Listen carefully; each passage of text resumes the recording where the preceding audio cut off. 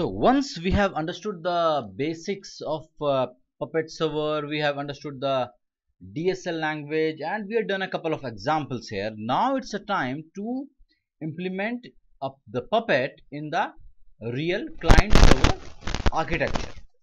So here I will be using two machines. This machine P server will be my server and the next machine will be acting as my Puppet agent or the remote machine which I intend to manage with a lighter background. So, so let's start from the Puppet server. Before we can uh, start onto starting the surveys and the CAs and the certificates, we need to understand some basic things. Where are the Puppet server config files? Because that is more important. The Puppet server main configuration file. These things are required when you are implementing the Puppet in the actual client server architecture or the manner. If you are using the Puppet just to write the code the manifest that that we were doing from the last three days then it's not required. But now it's a time to shift the gears and configure the puppet in a proper manner. So the puppet server main configuration file is etc puppet labs puppet puppet.conf let me show this. This is the main configuration file for puppet server. Etc puppet labs puppet and puppet.conf this is the main configuration file. So puppet will honor this file or will read this file for most of the things. So if i open this file or if, if i do a cat here i'll just show it to you. This is the main config file. This is the main config file. Couple of things are already written there. We will be editing this. But this is the main config file that puppet reads but for some task like configuring the web server or having an external CA, it has separate config files and settings. So Puppet server configuration files and settings except, except for the logs are stored under a folder which is etc puppet lab puppet server and conf.d this is the directory. And these are the files auth.conf, global.conf, puppetserver.conf, web server, web roots. And uh, one interesting thing is that all these files are in, we call it HOCON, H-O-C-O-N format, HOCON format. If I uh, show you any of the file, say if I uh, do a cat of global.conf, okay, or if I do say puppet server.conf or auth.conf any file you will find a different format here. See so this format is the HOCON format which stands for human H-O-C-O-N which stands for human optimized config object notation. So nothing uh, like rocket science here. It's merely a better way than the JSON format so it's more human readable. We don't need to go into the HOCON format but we need to know that these files are stored in the HOCON form HOCON format which is human optimized config object notation. So whenever puppet starts remember this whenever puppet starts puppet will go in this folder and read these files. All these files having an extension of conf will be read. So in case you do any changes in any of these files make sure you restart the puppet server service. And the logs where the puppet logs go.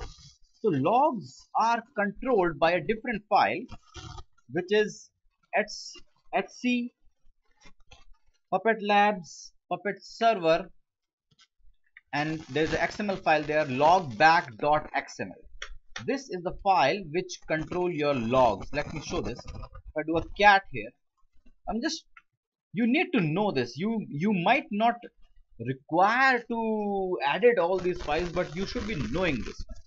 So they see here this is the file and the standard output. See there the file this is the main location var log puppet labs puppet server puppet server.log so this is the default file. Rest of the files will be stored in this folder var log puppet labs puppet server puppet server hyphen timestamp dot log dot gz so let me see if a couple of files are already there or not. Maximum file size is 200 mb history is for 90 days. Maximum size is 1 GB and there are a lot of things like root level info. That means by default the basic uh, info level will be uh, like recorded. You can change it to debug or warning these things. So if I go here let me see. If I go here and check this I go to var log puppet labs and see here puppet server and these are the files. Puppet server hyphen timestamp log.gz these are the files. Access.log master.http log puppet server.log you will find all the logs here. So being a admin you should be knowing where the logs are going right? This that's great. So we had understood ab about the log and the http traffic. The http traffic will be going under var log puppet labs. Okay let me show this. It's going under var log puppet labs puppet server and puppet server hyphen access.log this is the location where the http logs will be going. So once we have understood the basic of the logs let's and the files where the main config files let's configure the puppet server and the agent. So we know that all the config uh, like uh, the communication between the puppet server and the puppet agent is based on ssl certificates. So there are two things that we need to do. In the master file I just need to specify the name of my machine. So the name of my machine is pserver.example.com so what I need to do etc puppet puppet and then puppet.conf open this file and in the master block anywhere in the master block write cert name and the name of your machine pserver.example.com that is the minimal you need to do save and restart the puppet server so I have mentioned I have told my puppet server that what will be the name of your certificate. So by default because I am not using any external CA so my puppet server will be acting as a CA so the same machine name I had specified for the cert name certificate names. That my certificate authority is the same machine p server dot example dot com. It might take certain time to restart it don't worry. And then so this is done this is done. Just a moment. Let it come and then we'll move further. It might take yeah. It's there. Now what I need to tell the agent. Agent only need one thing. Where is my master? So by default puppet agents are configured to go to a machine named puppet. So if I show it to you puppet config print all is the command which will show you all the configurations but I'm not interested in all I just grep for the word server. So see here server. So by default agents are configured to look for a machine named puppet. This machine is supposed to uh, be acting as a, your puppet server but in my case the puppet server name is different pserver.example.com and make sure you should have corresponding entries in the host file for the proper name resolution or your DNS should be there right? So if I I just need to go in the same file etc puppet labs puppet and puppet.conf here in this file I just need to tell in the main block as that where is your server? So I just need to write pserver.example.com that's it. That means I had overwritten the default settings. So the client knows etc puppet labs puppet puppet.conf the client knows or the agent knows where I should be going for the, the server or for manifest and for CAs and for certificates everything. And the server knows the name of his CA that what by what name he will be signing the certificates. Okay. So if I I just need to make sure that the firewall is on and your uh, ports are allowed. So in case the firewall is on then only you need to take care of these things. Otherwise not so all the communication will be on uh, the CAs or the certificates. So what I need to do now I just need to restart the puppet agent service. So let's restart this. So what will happen then? The puppet agent will send the request to the master. See here if I give the command here puppet cert list hyphen hyphen all which will show me all the certificates issued pending revoked by the puppet server. So currently it has his own machine name. Because it's a CA so his own name is appearing up. No other machine request is there. That's great. So as soon as I restart the service my puppet agent will read this file and will send the certificate request to this machine. So let's do this. So I can start the like service here but before I jump onto restarting the service I need to make sure that in the firewall the puppet is allowed. If the firewall is activated as it is RHEL 7 I'll show you a very interesting command. I need to know which port I should be adding in puppet or, or sorry in firewall. Just give the command puppet config print master port. It will show you which port it is working on. 8140 though you can also use the netstat I don't mind uh, do a 8140 or ruby it, it will show it to you. Right. So I need to allow this port. So if I give the command firewall cmd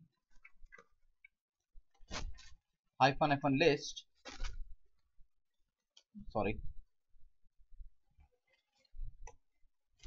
So I don't have this port allowed. So what I do I give firewall cmd hyphen hyphen permanent hyphen hyphen add port 8140 TCP and allow the UDP also though it is not required but no harm and reload it. Firewall cmd hyphen hyphen reload. So if I view this this is allowed you can do it same here. Firewall and now if I try to start the service puppet sorry if I just give the command puppet agent hyphen tv so test and verbose. See here. It's generating the SSL keys and send the request to the machine. Let's check it out. So if I go here and I repeat the same command oh sorry sorry third you can see a request appears here. Earlier there was not. So the request is being sent by the puppet agent. Now it is the uh, discretion of the server whether he should allow it or not. It solely depends on the server. So i can sign it. So if he is a trusted machine i just need to copy this and i give puppet cert sign and the name. Done.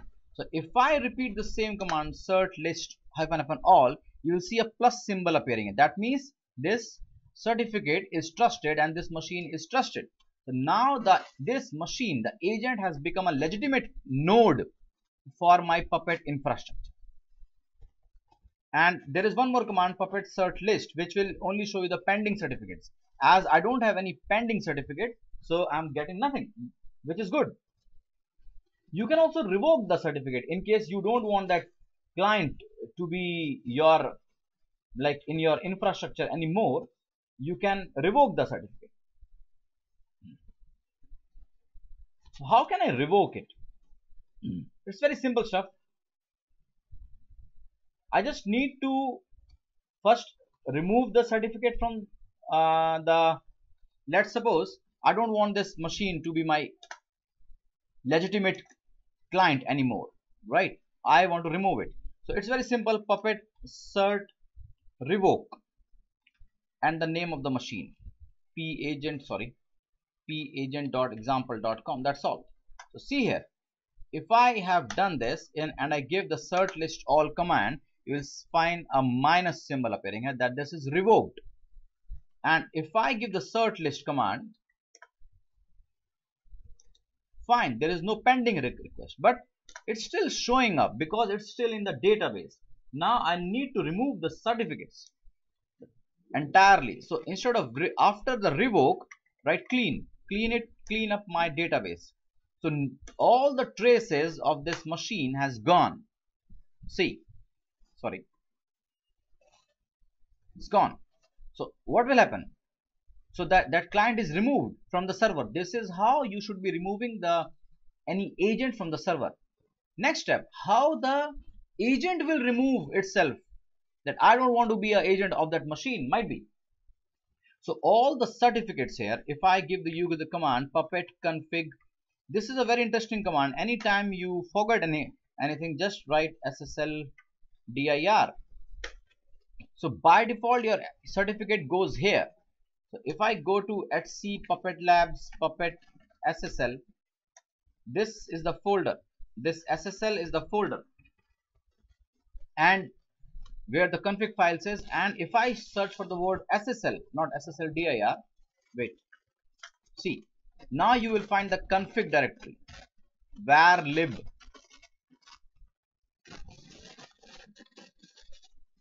So what I do if I show you this it must be showing up somewhere. Config. This is the location SSL dir host certificates are going in this file. CS certificates are going in this file. So there is a location here. I'll show you var lib pup and then puppet. Sorry uh, it's sorry it's here. It's the SSL folder here etc puppet labs. If I move into this SSL folder you'll find the certificates from the, my machine. Though you cannot read it as such but these are the certificates. So I can remove this folder entirely. I don't mind.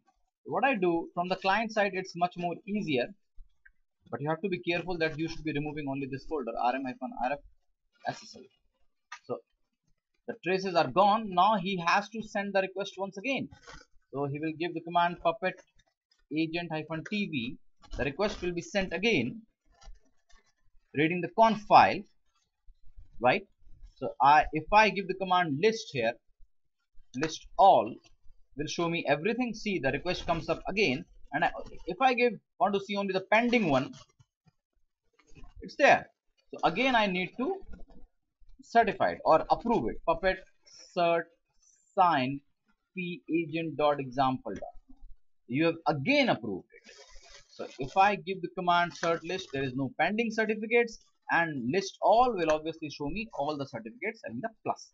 So this is how you set up your puppet agent and the puppet server you should be doing this before we jump onto writing the code on the puppet server and then applying the manifest on the puppet agent.